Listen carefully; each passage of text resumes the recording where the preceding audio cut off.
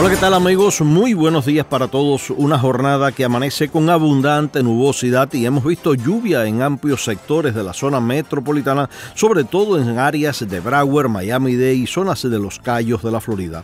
Hoy, a diferencia del día de ayer, vamos a estar viendo un incremento de la nubosidad y también del potencial de lluvias. Tenemos un frente casi estacionario sobre nuestra región y eso propiciará estas condiciones. Para Miami-Dade hasta un 50%, entre un 60 a un 70 hacia Broward y la zona de Palm Beach, quedando en un 30 hacia los Cayos de la Florida.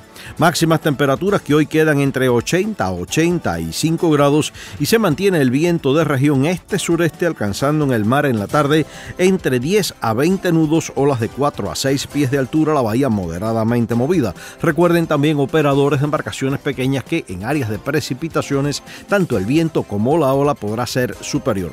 Y por supuesto con este pronóstico de actividad de precipitaciones mucha precaución también conductores. Pavimento mojado, sinónimo de accidentes. Para mañana viernes llega un nuevo frente a nuestra zona, incrementará aún más el potencial de lluvias en nuestra zona entre un 60 a un 70% y tras el paso del mismo para este fin de semana regresa el tiempo fresco al sur de la Florida. Estamos hablando incluso de temperaturas que estarían cayendo por debajo del rango de los valores normales para esta del año. Les recuerdo que lo normal para esta fecha sería alrededor de 82 grados y para la mínima sería de 68. Y estamos hablando de mínimas en los amaneceres de sábado y domingo entre 62 y 66 grados Fahrenheit.